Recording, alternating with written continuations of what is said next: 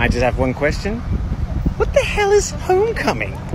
Now, of course, I've heard about homecoming. It's that thing that Americans do in movies when I was growing up. There's a dance and things like that. But at the same time, I don't know what it is. Fundamentally, I'm very confused. The entire town showed up for this. What is homecoming? What, what is homecoming? What is who's coming home? Everyone's here. That's right. What? Everyone comes home. So, do people come from away for this? Yes. Okay. But is there a dance? A dance. A homecoming dance? In movies, there's a homecoming dance.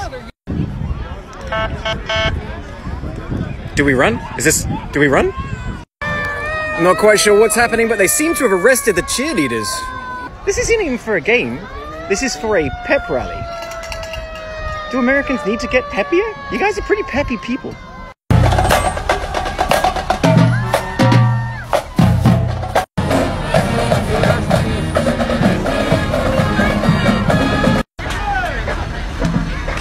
Okay, this is what I'm here for. American muscle cars, sign me up!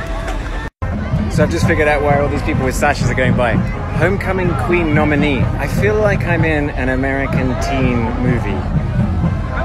Is all very, very strange to a foreigner. There's a corgi in honor of the Queen. Oh my goodness, the winner.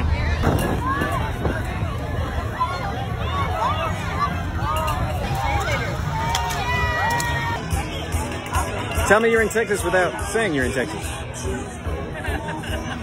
People on horses. Okay, that was actually just the longest parade I've ever been to. It's quite the production, and now everyone's walking to the, the football stadium for a big party. Okay.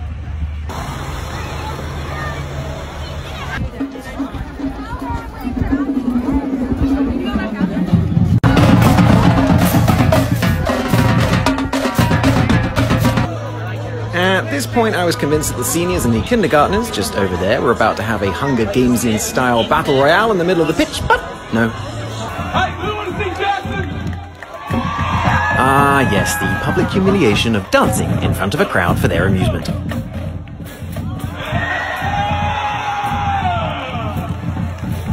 Five Queen nominees and our king. Welcome first.